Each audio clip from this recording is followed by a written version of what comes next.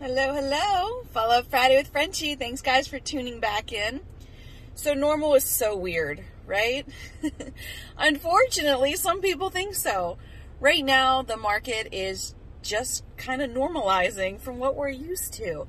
For the first time in two years since that crazy thing they called COVID happened, we are actually seeing houses sit a minute.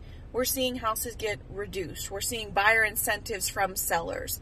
So we're going into normal, still, you know, a not, I wouldn't say average market. There's still some things out there that are a little different. But don't get discouraged. My sellers, don't get discouraged. I'm to turn this air down in my car. Um, I know that it's different. It's not what you expected, all of the, the buzz that was going, but buyers are just now taking some time. It actually should be more of a solid offer.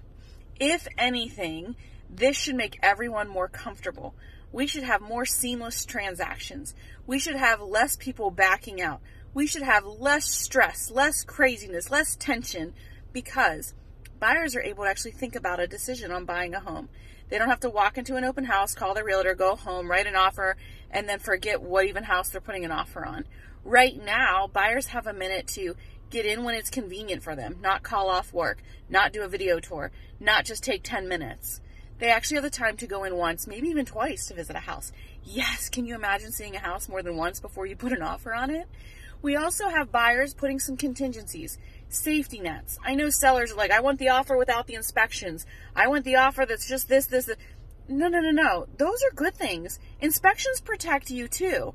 Well, why? Because once that buyer moves into the home, they have an inspection report. They don't have surprises.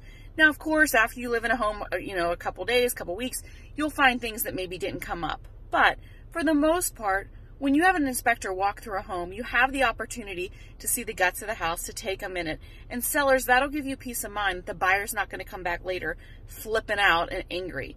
I very, very, very rarely will tell my clients to waive an inspection. Even in the heat of the market, we would get inspections, and there's some things that we can do with those inspections to make the offer more attractive.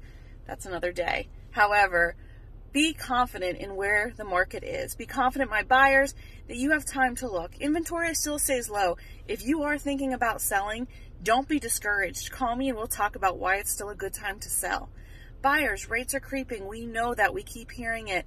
Don't be discouraged. You can't change the price on what you buy the house for in five years. You still paid that price. But the rate you can change, right?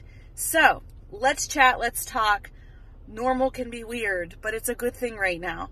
I hope you guys have a great weekend. Christmas is going up in my house, all seven trees, and I might get a real one this year too. So if you know a good place to get a real tree, let me know. I'll talk to you all soon. Get ready for sneak peeks of those Christmas pictures and send me some of yours. Mwah! I love what I do, and I know you will too. See you guys next week.